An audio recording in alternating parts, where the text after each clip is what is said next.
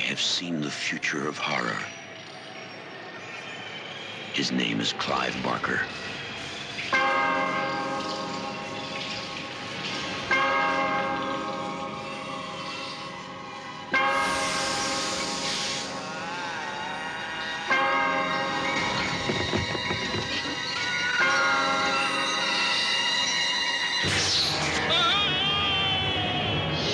Hellraiser. Beyond any terror you have imagined. A nightmare. No. unlike anything you have witnessed, is born. Because within these walls, the unholy is unleashed.